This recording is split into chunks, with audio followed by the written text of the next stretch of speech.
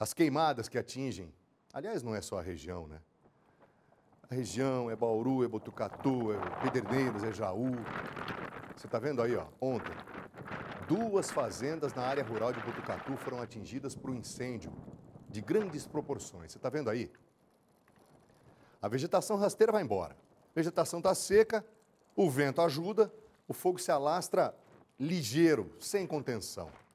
Duas propriedades atingidas, até uma casa. Ainda bem que essa casa estava desocupada. Essa casa foi totalmente destruída.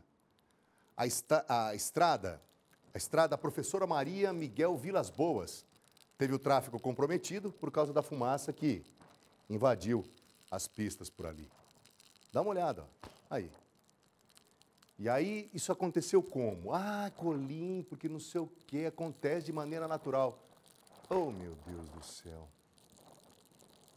Você já viu algum incêndio de maneira natural? Isso é crime. Isso aí é ação criminosa. Você está chegando agora, audiência rotativa, né? É sempre assim. De repente, para você que está desde o começo com, com, conosco aqui no Balanço Geral, muito obrigado. Poxa vida, que, que legal. Você está no seu trabalho, está com a televisão ligada, vez ou outra, a gente fala aqui, dá uma levantada na voz, aí chama a sua atenção, mas ainda assim você deixa a TV ligada para nos acompanhar. Muito obrigado. De repente você não pode ficar o tempo todo, mas você fica só um pouquinho. Ou de repente você está chegando agora. Muito obrigado. Você está vendo aí duas fazendas em Botucatu que pegaram fogo. Por quê? Por causa de. Olha, dá uma olhada. Olha como é que fica a situação do meio ambiente. Vamos voltar um pouquinho para aquilo que a gente noticiou no bloco anterior? Olha o que aconteceu em Lençóis Paulista. Quer ver a nossa turma competente que é? E olha isso, ó. dá uma olhada na cortina de fumaça à distância. Chega a dar medo, não chega? Tem como, Iago, mostrar o que a gente mostrou no bloco anterior, a situação lá de Lençóis Paulista?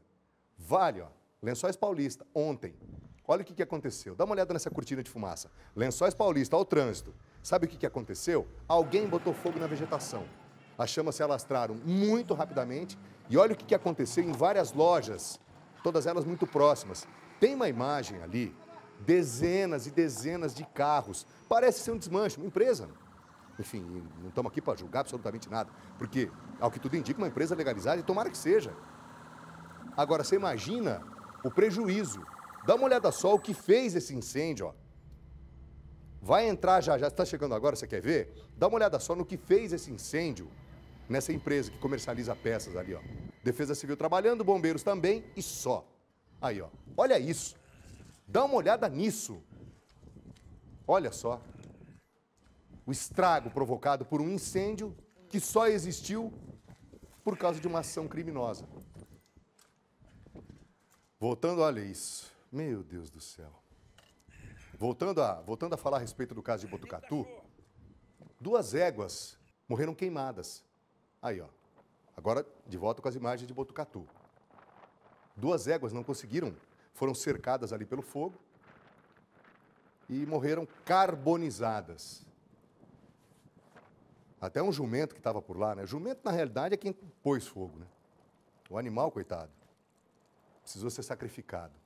Ele ficou cego, aí, ó por causa das queimaduras de terceiro grau, dificuldades para respirar e o animal teve que ser sacrificado. Olha isso.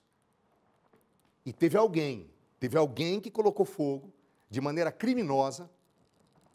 Não aconteceu absolutamente nada. Foi lá, pôs fogo, voltou para casa, está tudo bem, está tudo tranquilo. Matou duas éguas. Um jumento teve que ser sacrificado, sendo que na realidade o jumento inicial tinha que ser preso. O jumento que provocou né, a situação. Não pode, é crime. Por que, que as autoridades não agiram? Por quê? Porque um silêncio ensurdecedor de quem deveria fazer alguma coisa e não fez. Ninguém fez. E aí vamos nós, a semana passada lá, cobrado o promotor. Parece que sempre tem que ter o Ministério Público para resolver tudo, né? Olha, abençoado o Ministério Público, hein? Tudo cai no Ministério Público. Eu nunca vi, tudo no Ministério Público. A turma não faz nada aqui embaixo, vai no Ministério Público. Eu nunca vi. Impressionante. Impressionante a, é a inércia, a ineficácia, a pasmaceira, a letargia.